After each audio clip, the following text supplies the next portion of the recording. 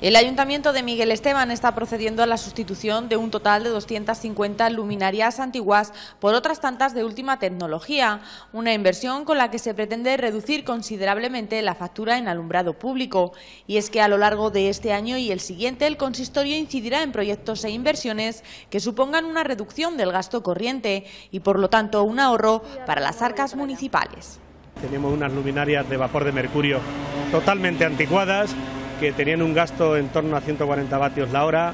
Con estas nuevas luminarias eh, de LED el gasto se reduce a poco más de 50 vatios la hora, es una reducción en torno al 70%, más luego llevan un reductor de flujo cada lámpara eh, incorporada para que a eso de la medianoche incluso ahorren un 40% más, de tal manera que nos va a suponer un ahorro considerable en la factura de luz al Ayuntamiento de Miguel Esteban. En este sentido, un tercio del municipio ya cuenta con luminarias renovadas. Ahora se está actuando en otra tercera parte y el próximo año se actuará en el resto. De esta forma, el alumbrado público de Miguel Esteban quedará renovado en su totalidad.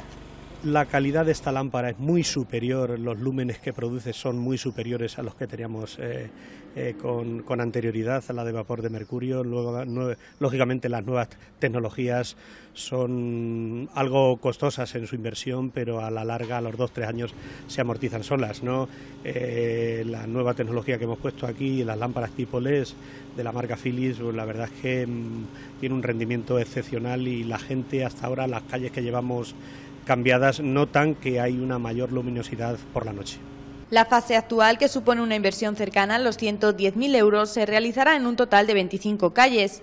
En la zona oeste se cambiarán las farolas de las calles Valencia, Real y Camilo José Cela, además de todas las transversales. También se sustituirán las farolas de las calles García Morato, Vía Férrea, El Pato y El Charco, entre otras.